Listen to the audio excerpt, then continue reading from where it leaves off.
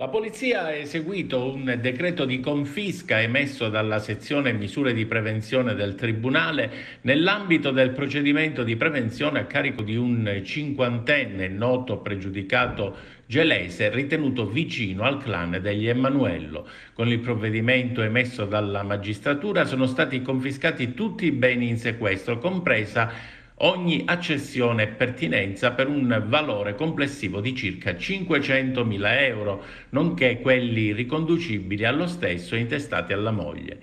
Nello specifico sono stati confiscati un'impresa dedita all'allevamento di ovini e caprini, comprensiva dell'intero complesso aziendale, 15 terreni e 4 fabbricati ubicati nel territorio del comune di Gela, due depositi a risparmio e due conti correnti. Il provvedimento ablativo in questione, non ancora definitivo, è scaturito dalle indagini patrimoniali svolte dagli agenti della sezione misure di prevenzione patrimoniale della divisione anticrimine della questura di Caltanissetta che hanno accertato come il valore dei beni nella piena disponibilità del cinquantenne, intestati anche a congiunti stretti, risultava spropositato rispetto ai redditi dichiarati ed alle ulteriori entrate lecite, dovendo quindi concludere che esso era il frutto delle attività illecite e ne costituiva comunque il reimpiego.